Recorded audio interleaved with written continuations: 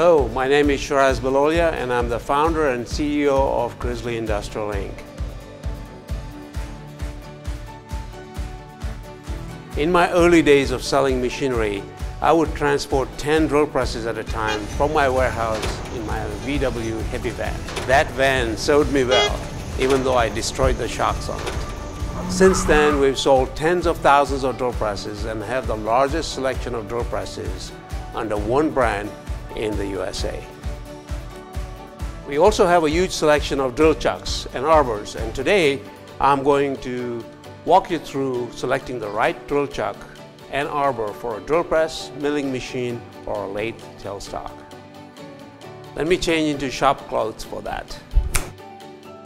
There are several types of spindles and arbors, as well as drill chucks that have different backs on them. Let's start with the type of spindles. Small drill presses have external tapers that stick out from the spindle. This drill press has a JT33 taper Larger drill presses have an internal taper that usually is Morse taper number 2, 3 or 4. In this case, on this drill press, it is Morse taper number 2.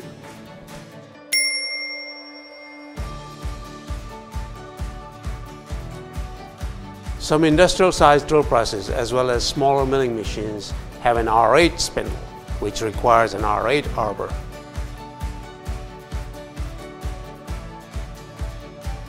Larger milling machines and CNC machines usually have an NT type spindle.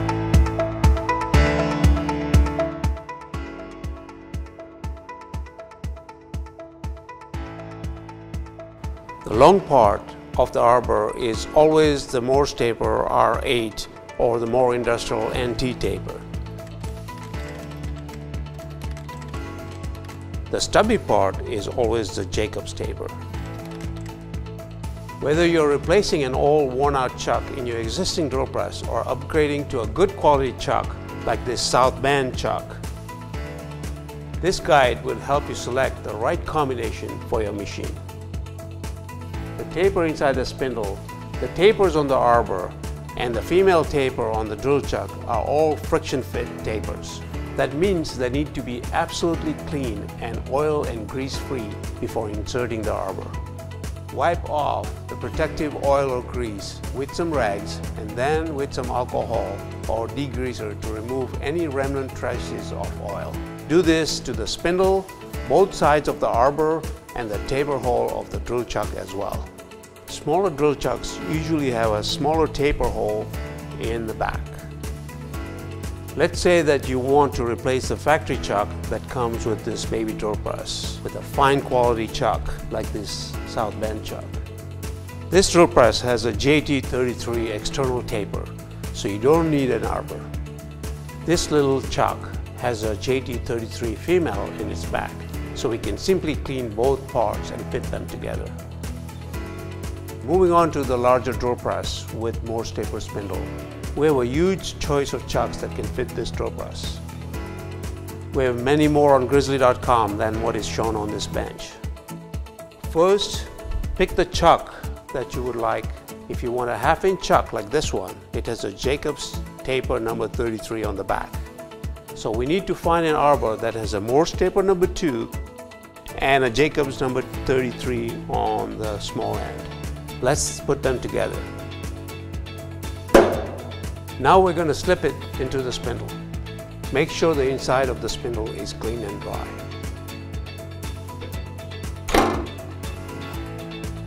Next, let's look at this larger industrial drill press. It has an R8 spindle taper on it. All R8 arbors have a threaded end on the back to accept a drawbar.